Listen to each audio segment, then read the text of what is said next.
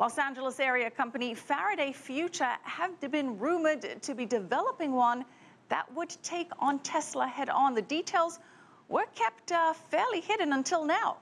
Mark Niu has more from Las Vegas. Faraday Future unveiled the FFZERO1, a concept race car that seeks to redesign the automobile from the ground up. It's an all electric single seat car where the driver sits at a 45 degree angle with a smartphone at the center of the controls. We're taking the innovative, intuitive movements of digital devices and applying them to the interior of the vehicle, incorporating swipes, pinches, and touches.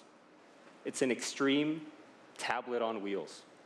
With air tunnels to cut drag and cool batteries, a light carbon fiber body, and four quad motors, the car's designers say the Zero One will produce thousand horsepower. Its top speed more than 320 kilometers an hour.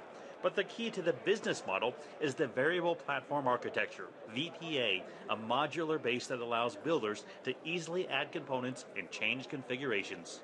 We can add or subtract strings of batteries. Based on those power cells, we can create different models that have, a different, have our desired range without having to redesign the entire structure.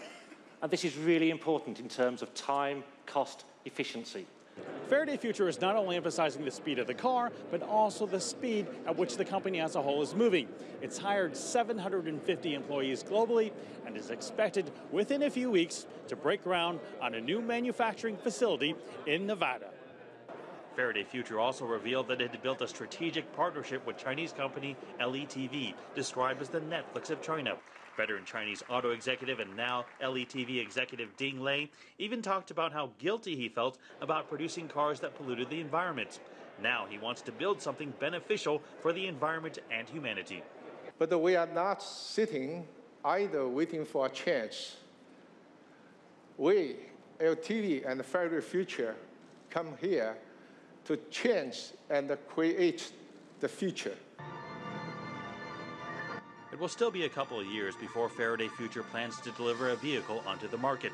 But with a team filled with former employees from Apple, BMW, NASA, and most of all, Tesla, the EV startup says it's confident of transforming the auto industry in the future. Mark Niu, CCTV, Las Vegas.